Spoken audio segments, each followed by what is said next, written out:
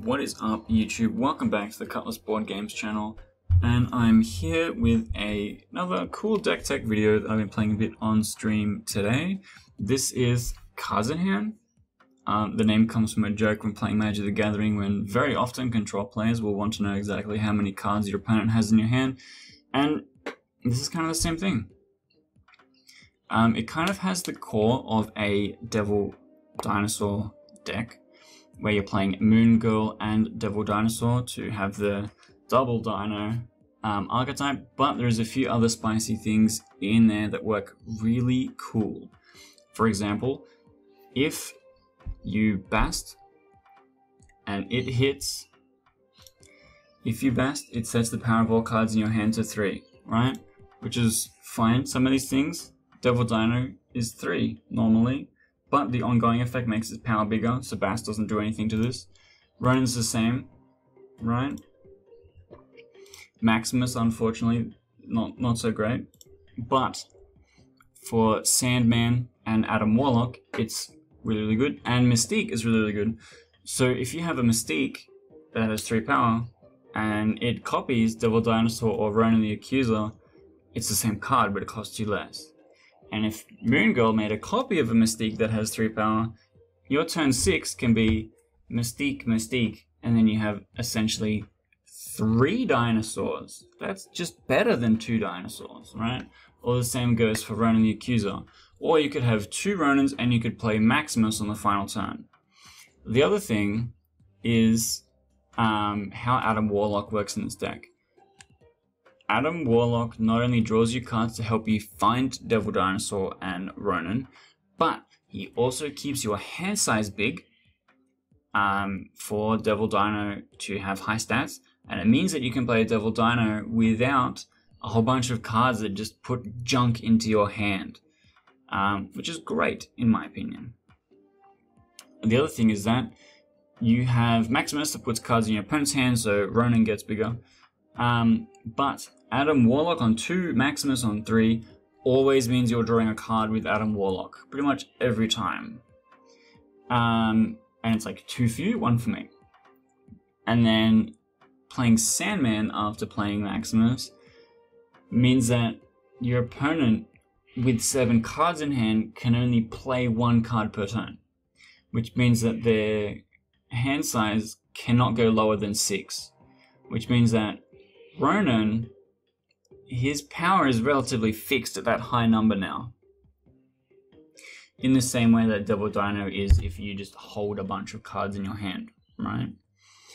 Um, and I thought this was really interesting, especially because there's so many decks that are like like um, Sera Miracle or uh, any Mr. Negative deck plays a whole bunch of things on the final turn. All, all these decks that got punished by Leech now just lose to this because this goes, alright, Sandman, here's a big thing, and then here's another big thing, and then you're kind of in the game. Um, and that's kind of the, the main strategy. You've got a, like the top half of the deck, right? Bast, Iceman, Sunspot, Adam Warlock, Scorpion, Armor. These are all about getting an early advantage, getting some power on the board, um, and then hopefully setting up Adam Warlock to draw you some cards. And then if you play Devil Dino onto the Adam Warlock lane, it will continue to draw your cards and keep the Devil Dino's power big. Um, and then your mid game is like your Maximus, Sandman, or Moon Girl. Uh, you play Sandman if you think you're playing Ronan. You play Moon Girl if you think you're playing Devil Dinosaur, right? Um, and also the location of the cards in your hand might just be like you just never play Moon Girl, you always play Sandman. Uh, and then you're playing either Devil Dino or Ronan on 5, and then you're playing um, Mystique, two Mystiques maybe, or Mystique Maximus, right? Um, trying to get the most value out of those two ongoing effects. Um, and I honestly really, really enjoying finding a place for Sandman. Sandman getting the boost from Bast to have 3 power actually feels really, really strong. Um, I'm kind of jazzed about it, honestly. And it feels less bad to have to lose a turn to be playing Sandman. And Maximus's huge power um, on turn 3 works really, well curving out after playing Adam Warlock. um, and then playing into Sandman, you don't feel like you're at a huge loss, which is great. But um, here's a couple clips of some highlights of me playing the deck today on stream so you can get a feel about how it plays and kind of look at what those final turns really do look like when it all comes together. Alright. Um. Hmm.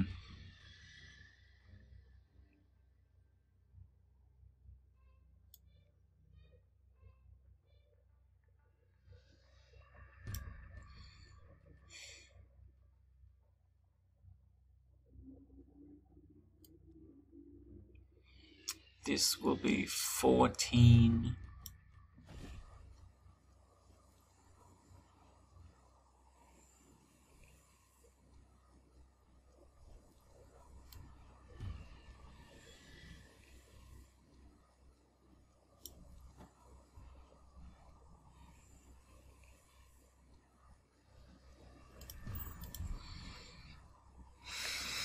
Okay. we take those. We definitely take those. I think my opponent's gonna. Okay, they're gonna skip now that they have Sunspot in play. Just need to draw Ronan. I do not. That would have been, been nice. Hmm.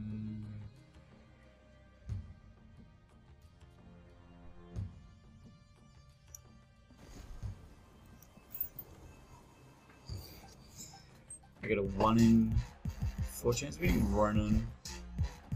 Okay,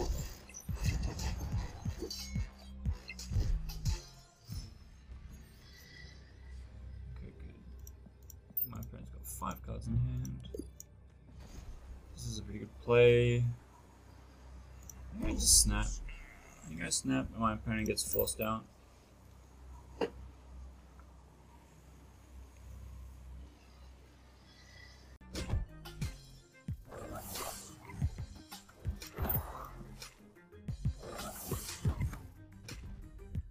Plan now it revolves around drawing Maximus.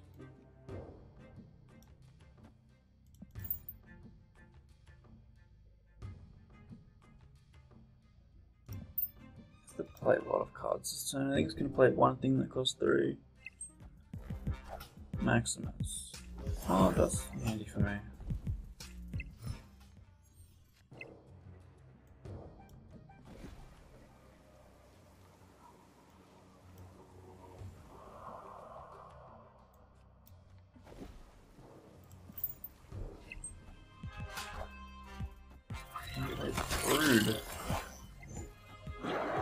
Dino is pretty big. Hmm. Oh.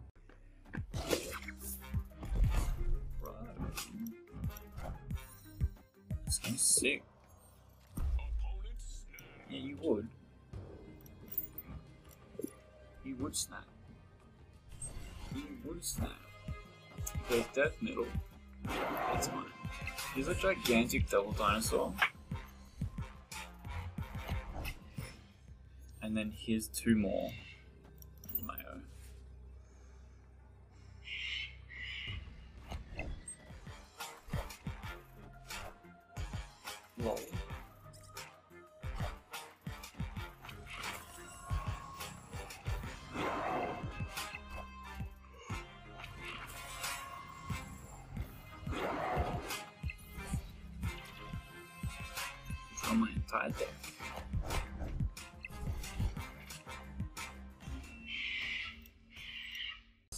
What are you just not playing cards?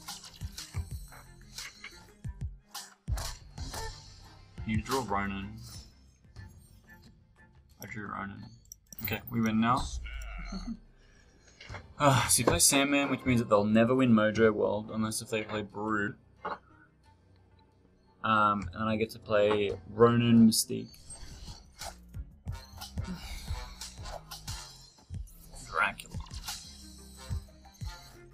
This was playing a Zabu deck but didn't draw Zabu. Very unfortunate. He has no way of lowering his hand size below 7. And if I select a Devil Dinosaur, it would be big too.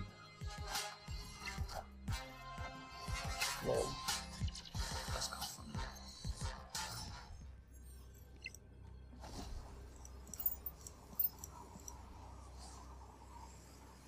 GG.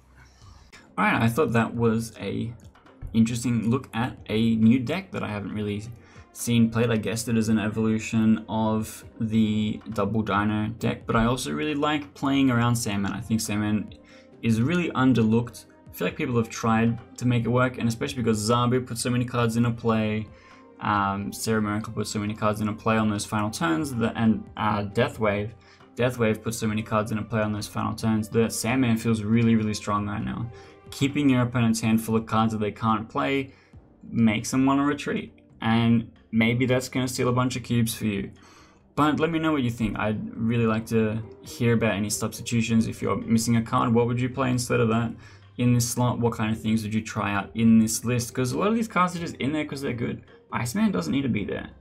Um, Scorpion was Baron Mordo five minutes ago, and I was playing Black Widow, and I cut them out because I was just never playing these cards when I had them in my hand. Um, but what do you think? And I actually make a whole bunch of other Marvel Snap content on this channel, so if you're keen to check out some other stuff, I'm going to have some buttons here for you to click on. You can click on these buttons. This video here is going to be the VOD of me playing it today on stream I'm a bit sleepy and making lots of mistakes. And then this this one over here on, on my left is the playlist of all the Marvel Snap content that you can just kind of scroll through and find some of the best stuff. And then there's a button over here. I always get this wrong. Over here that you can click that will subscribe to the channel and put a smile on my face. Big smile. And that, would, that would be kind of cool too.